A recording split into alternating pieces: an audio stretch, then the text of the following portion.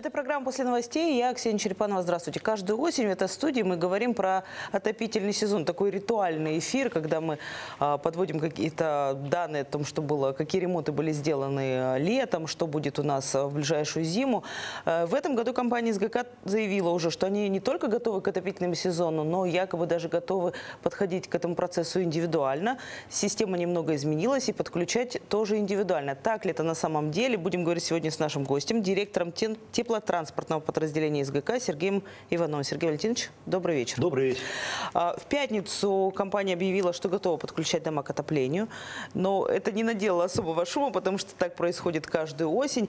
Что касается вот этого индивидуального подключения, когда якобы чуть ли не как каждый дом может прийти и сказать, уважаемый СГК, подключите нас, так это или не так, и что имелось в виду? На сегодняшний день у нас все тепловые сети на циркуляции, то есть э, технически мы готовы уже с пятницы подключать все, всех желающих потреблять тепловую энергию по мере необходимости. Как наш потребитель примет решение, мы готовы обеспечить отопление в жилых домах либо в социальных сферах, либо в социальной сфере. Ну, смотрите, когда вы говорите «наш потребитель», а, что имеется в виду? Это в целом город Красноярск, и мы ждем, как обычно это происходит, а, мэрия и глава города подписывают распоряжение, старт отопительного сезона, и вы подаете отопление. Либо это немножко по-другому? На сегодняшний день 90% объектов по теплоснабжению, те, кто имеет договора а, с предприятиями Сибирской генеральной компании, я тех потребителей называю своими, то есть те, кто имеет договора с предприятиями СГК. То, что касается по то, что вы задали вопрос, то вот я вижу два пути.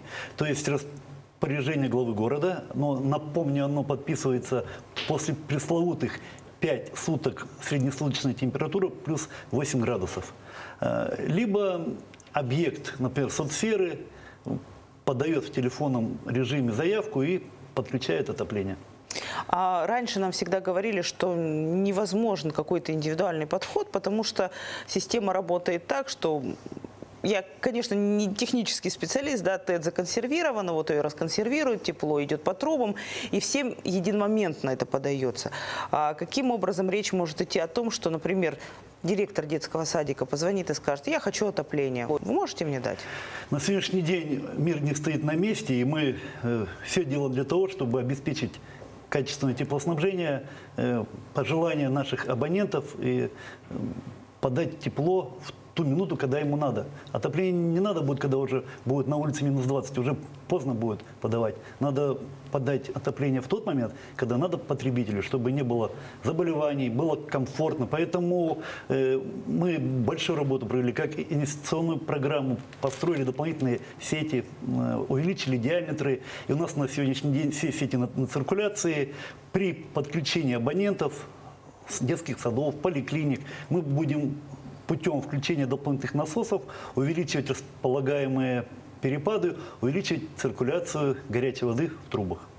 ТЭЦ, все ТЭЦ СГК также готовы и по мере набора нагрузки будут догружаться энергообъекты. Вот я не буду сейчас попытаться как-то сформулировать вопрос по-особенному. А, сегодня, вот, когда мы готовили этот эфир, мы со всеми, с многими специалистами разговаривали и говорили о том, что ну вот, э, цивилизация пришла и в Красноярск, теперь можно там а, а, как-то индивидуально подключать. Нам все почему-то сказали, это невозможно. Система Красноярска не подходит для этого. Либо всем отопление, либо, либо никому. Что можете на это сказать? Э, со всей уверенностью, со всей, говорю, стопроцентной уверенностью, что мы на сегодняшний день готовы один объект, подключим один. Есть желание подключить тысячу один, подключим тысячу один объект. До конца недели у нас э, ряд тепловых сетей находятся на реконструкции, э, они не мешают нам на сегодняшний день подать уже отопление. Действующих тепловых сетей, насосных диаметров хватит для обеспечения уже на этой неделе всех желающих подать тепло.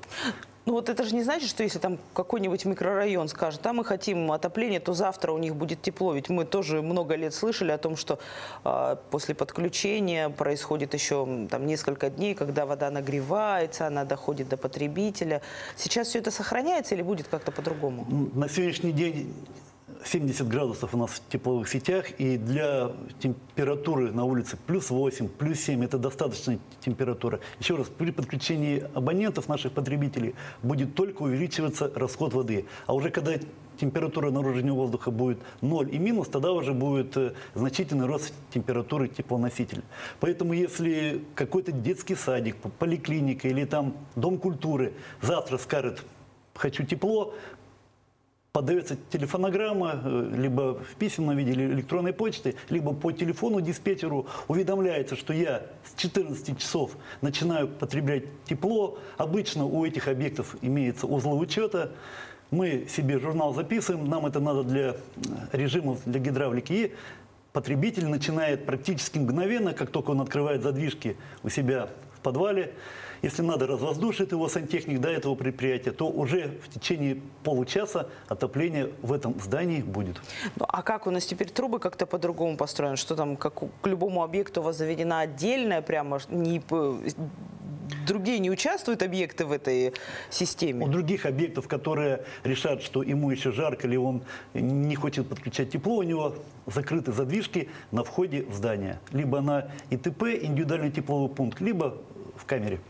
Ну, а вот те, кто сомневается, например, а, в ваших словах, они могут говорить о том, что, ну, как система, вода идет по трубам далеко. Ради одного объекта вы же не будете все это запускать, потери, денежная составляющая. Ну, вот напомню, мы уже, наверное, лет 8 или 9 у нас сети на циркуляции. Что это значит? Что у нас давление есть и в прямой, и обратке, и сети работают, они под нагрузкой, тепло идет к потребителю, потом возвращается, на ТЭЦ догревается и возвращается опять к потребителю. Поэтому сети уже на циркуляции, и мы технически сегодня готовы. Поэтому никакого роста там потерь не будет. Поэтому даже один объект, детский сад, например, там в Черемушках или в Советском районе завтра подаст заявку, мы обеспечим теплоснабжение. Хорошо, вот вы сейчас говорите про социальные объекты, да? А, те, за которые, если раньше будет подаваться отопление, будет платить бюджет. Что касается жилых домов, а, к ним такой же принцип или это уже немножко другая история? По жилому фонду здесь два момента. Здесь либо надо а, решение собственников жилья, э, протокол и так далее. Тогда после этого управляющая компания обязана будет подать тепло.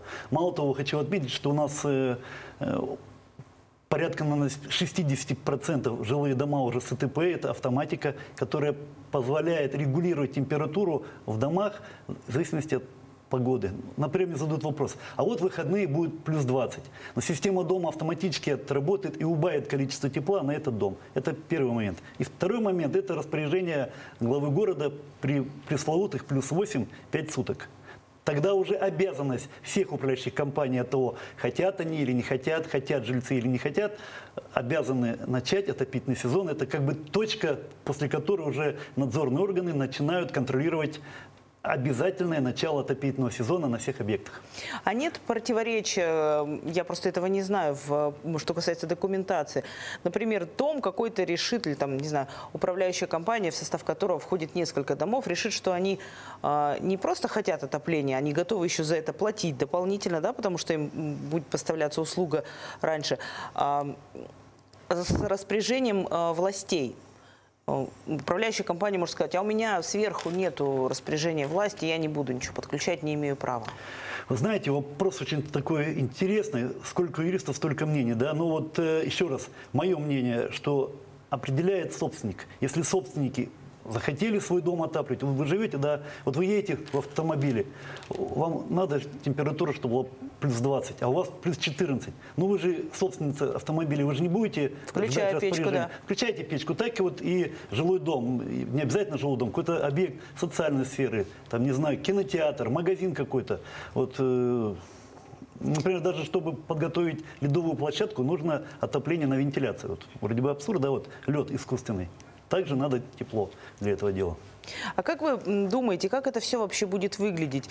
Потому что, о чем меня спрашивают, нас, а, например, часто собственники в жилом доме в одном подъезде не могут договориться, в какой там, цвет стены покрасить, не говоря уже о том, что а, половине будет жарко, половине будет холодно и начнется. Тут же должно быть какое-то единое решение. Не может же одна половина дома позвонить нам включайте, а вторая не включайте. Да, здесь тогда два пути. Либо ждать распоряжения, но зачастую распоряжение, когда уже выходит по закону, когда, то уже э, квартиры выстывают и начинаются массовые жалобы. Наша задача тепловиков обеспечить возможность подключить, а уже как подключать, каким образом и как это законодательно соблюсти, наверное, не совсем наша задача. Наша задача обеспечить комфорт и возможность потреблять тепло в ту час и в тот день, когда абонент и наш потребитель захочет. Так же, как вы идете, например, в магазин, и вы же, э, или там на бензозаправку, вы сюда приезжаете, там всегда есть бензин. Вы хотите заправляете, хотите нет. Так и тепловая энергия – это такой же товар. Есть желание – потребляйте, нет желания – не потребляйте. Есть желание держать в квартире плюс 18 – ставьте регулятор на плюс 18, если у вас дом с автоматикой. Есть желание держать плюс 22, ну, ставьте автомат на плюс Ну, 22. Я к тому, что у нас очень сложно будет собственникам, особенно в тех домах, где очень много квартир, договориться. Ну, такая ситуация, на самом деле, к сожалению, бывает место быть, к сожалению, потому что э, встречаешься с жителями, на самом деле, одним холодом, другим жарко. Такой вопрос, к сожалению, есть. А в пятницу вы об этом объявили. Была ли какая-то обратная связь за это время? На сегодняшний день, так как погода у нас плюс 18, на сегодняшний день пока заявок нету, но предполагаю, что с четверга уже ночью плюс 6, плюс 8, и аккумулирующая способность зданий начнет сейчас, дома начнут выхолаживаться, особенно если не солнечная сторона, то заявки появятся. На- Приведу пример. В Новосибирске, например, 34 заявки на завтра соцкульбыт планируется подключать. В городе Кемерово наши соседи с 9 сентября соцсфера планируется подключению отопления в связи еще с тем, что ковид, к сожалению, не ушел, и обеспечить сухой теплый воздух – это немаловажная задача, в том числе власти. А для вас какая комфортная температура? Для дома? меня 22.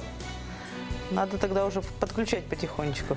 Ну, думаю, что в среду, в четверг Спасибо огромное, Сергей Валентинович, что пришли к нам в эфир, отвечали на наши вопросы. Ну Спасибо. и дай бог, чтобы не все разом кинулись к вам, э, если как-то законодательство изменится, и соседи, и жители все смогут договориться.